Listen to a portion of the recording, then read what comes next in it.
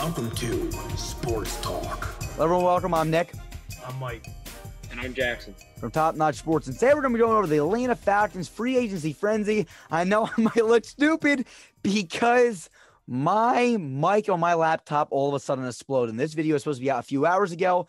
My microphone exploded. It got way too loud and stuff. So let's hope that this works decent. Let's see what we got. So let's go right away. We're going to look at the Atlanta Falcons free agency. Let's see what we got here. Uh, Atlanta right now is negative $14 million in the hole. Negative $14 million in the hole. Um, there's a lot of things going on right now. The question is, what does this team decide to do? What are the moves that they're going to make this upcoming off season to build this team? They weren't great last year. They moved on from Dan Quinn. Uh, they they bring in Arthur Smith. What moves do we think they're going to make? I'm going to head right down to Mike. Mike, what do you think that this team is going to do this upcoming off season? Well, looking at their um, money situation, they're not going to do much in free agency. They're minus 14 in the hole. Um, we did a financial video. If you guys want to go back and look at that, it might be a little bit different now. But we we didn't see them really making any big cuts because this, honestly, this offense can compete. I think this offense can compete. The defense struggled a little bit last year, so maybe that's something you address via the draft. There's a lot of talk going on about them possibly drafting a guy like Justin Fields or Trey Lance with their draft pick, which I don't know how great a great of an idea it is. I don't think there's anything wrong with the way Matt Ryan is playing right now. I think there's other needs this team has, and I think they can be competitive with the team they have in front of them with Julio Jones, Calvin Ridley playing some of the best football in his life. They just got to get a run game. So I'd attack, try to attack a running back and the defensive side of the football heavy in the draft because you're not going to be able to do anything in free agency. Absolutely, Jackson. What do you think? Yeah, I 100% agree with you, Mike. I mean, this the offense is not the problem with um with this team. Matt Ryan has been, you know, pretty good his entire career. He won an MVP back in 2016, went to the Super Bowl. We all know what happened there. Um, you got Julio Jones, um, who's arguably one of the best receivers in our generation. Calvin Ridley looked like a true number one receiver this past off se- or excuse me, this past season. And then Russell Gage ain't a bad weapon either. The only question I have with the offense is probably interior interior offensive line. Um, drafting Chris Lindstrom a couple years ago was a step in the right direction for this team, I think. Um, and maybe a running back. Maybe you want to address a running back in the draft as well. But again, the defense is the problem. Um, you got AJ Terrell last year in the draft. Um, he's looking like he's going to be a solid future piece for you guys. I like Grady um, on the defensive line. Deion Jones ain't bad alongside with Jose Oluokun this team's got pieces on the defensive side of the ball. They're all young. You just need to build around it. Um, like you said, they're, they're negative $14 million in the hole. You can't really bring like any veterans in to help coach up these young guys. Um, they got the fourth overall pick. I could, I don't see them drafting a quarterback. I'm just gonna go out and say if they draft a quarterback, I think it's the most stupidest thing this team can do in the draft. I think they should go after a guy like Micah Parsons. And again, they have the fourth overall pick, so maybe you don't want to get Micah Parsons at the fourth Trade overall down. pick Trade down. Trade down to a team like Denver, possibly a team that needs a quarterback. Maybe um, Carolina wants to trade up the fourth overall pick. Maybe you, you make a trade with San Francisco happen. There's a lot of possibilities, but if I don't think selecting a quarterback at four is the is the move for this team. I think trading down and selecting a defensive piece is the move. Absolutely. And and here's here's where I'm gonna hop into this. This is what I think. Again, I, I do not think that they should go after a quarterback. This has been my firm stance now since I've looked at the Atlanta Falcons a few weeks ago. Uh, you look at the Atlanta Falcons, they don't have a lot of I mean, right now, like we said, they're negative $14 million in the hole. I think this could be a team that could work their way out of the hole if they were to restructure a few contracts and maybe cut a few players. That would be interesting to see if they can get out of this out of this hole right now that they're in negative 14 million. I think that they can work their way out of it. It's still going to be tough to make signings. Again, you're going to have to free up about 24 million dollars to be able to make some moves. So that's number 1. Will they be able to get out of the hole that they're currently in? Number 2 is this. It's the draft. It comes to the draft, right? They got the fourth overall pick. Who do you want? And I'm going to be honest with you guys, just to let you know, Trevor Lawrence and Zach Wilson will not be there at 4. So it's either going to be someone like Oh, Fields, Pitts- Wilson, I mean Fields or or or uh, Lance. What were you saying, Mike?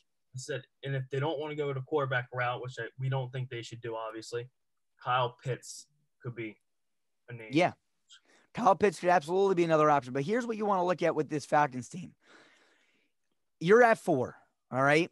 Let's just say you got your eyes set on. Uh, here's two guys I think that this team should absolutely have their eyes set on. I think one's Micah Parsons, and I think another one might be a cornerback, right, to pair it with AJ Terrell. I mean, you got Patrick Surtain and Caleb Farley. Those are three guys I would target. And if those are your three guys and you're Atlanta, and those are who you got your eyes set on those three guys, I do not trade down past 10 eight to Carolina. Maybe if Carolina wants to trade up, if you trade down to 12, 15, you may lose your guy. If your guy is truly Micah Parsons, Patrick Surtain, and Caleb Farley, and you don't want to miss out on them, you do not trade below 10 because I'm telling you something right now. Dallas is going to want a cornerback. Uh, Denver's either going to want Parsons or another cornerback. I mean, there's a lot of teams that are going to want those three guys. So if you are Atlanta, you either pick your guy at four, and it might sound like it might be a little bit of a reach for Micah Parsons. I watched him a little bit. Uh, I was not as impressed as I think everyone's hyping him up to be. I still got to watch a lot more film on him, but he can play edge and he can play linebacker. I, I saw more of him playing linebacker than edge, but he is versatile in that way, and that's something that Dan Quinn always liked was versatility. Dan Quinn's not there anymore. They already got Foyesade, Oluokun. They got Deion Jones right now to free agency. They're losing out on Keanu Neal. He's going to be testing free agency. So I do think if Micah Parsons is your guy and you want him, you don't trade down past 10. If you can't get a deal at 10, if you can't get a move, I mean, move back to having a top 10 pick, you keep your pick, you take the guy that you want, whether it's Micah Parsons, Patrick Surtain, or Caleb Farley. I'm going to say Micah Parsons is their guy. So that's the number one, their pick number one. Pick number two, again, uh, we can't really have a lot of free agency signings here because they don't have the money. So I think in round two, this team can absolutely go after a guy like we mentioned, Javonte Williams at running back. Todd Gurley, that was a failure. Uh, they're gonna need a running back. Mike, go ahead. What were you gonna say? If you look at what Arthur Smith has done, he's a run first, and then he'll beat you with the play action pass. That's what he did in Tennessee. That's probably what he's gonna want to do here. And I think it does nothing but benefit Matt Ryan. But you need to have a good running back to be able to do this. So it would make sense for them to attack one in the second round of this draft, or try to make a move for a guy that maybe won't be signing long term someplace else. Absolutely. Absolutely. I mean, look, Arthur Smith, and I'm going to say this too. Matt Ryan, everyone wants to get rid of Matt Ryan because he's getting old. Matt Ryan played phenomenal last year for having absolutely no run game. I mean, he looked really, really good. They got great receivers. I think that you just got to build up that thing offensive line. And one thing you don't want to do, and this is what I was telling the Jackson the other day, you draft a quarterback at the number four mm-hmm. overall pick. He has to sit behind Ryan for probably the next year or two. I mean, Matt Ryan is playing good. Okay. And bringing Arthur Smith, I think, is only going to help him. But if you draft a quarterback, okay, and the prime years of a quarterback not being the best of their ability, but because they're on a team friendly contract, is the first four years. And you don't want to bring in a kid like uh, Trey Lance or a Justin Fields who's going to sit down two years. And then you only got two years to make that strong push to the playoffs or the Super Bowl on a rookie deal. And then guess what? Then you got to pay this guy big bucks. And guess what? You don't get a chance to build your team. That's why I am a big advocate, a huge advocate of building a team around the quarterback first. Once you build that team, once you build that offensive line and that defense, then you insert your quarterback. And then you got four to five years to win a Super Bowl with that guy before he takes this huge contract. If you bring him in too early, they do not have enough money to build a team around him. Look at Sam Darnold, most NFL ready quarterback, went into the least NFL ready team in the New York Jets, never panned out. And I mean, that's what happens when you go to a team like that without a coach and without a team. One last thing, I think in the third round that you guys should attack a safety and Richie Grant.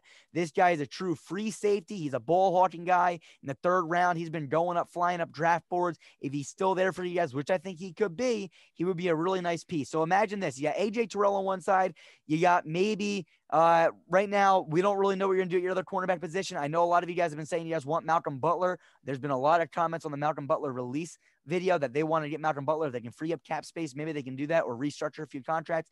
You got Micah Parsons playing linebacker and edge for you guys. And then you got Richie Grant in the backfield. I mean, at safety. And then you also got Matt Ryan, Javonte Williams, Julio Jones, Calvin Ridley, Hayden Hurst, and Russell Gage. Look, I think this team's pretty good. You still got to address the interior lineman position, maybe another edge rusher and a cornerback. But that's all I got. Mike Jackson, anything else you guys want to say? No, I think this team just seriously needs to focus on defense and getting themselves a running back. They need a good runner of football here in Atlanta. Haven't had that in a long time. That's what Arthur Smith needs to have success in this system. I think so. Jackson, anything?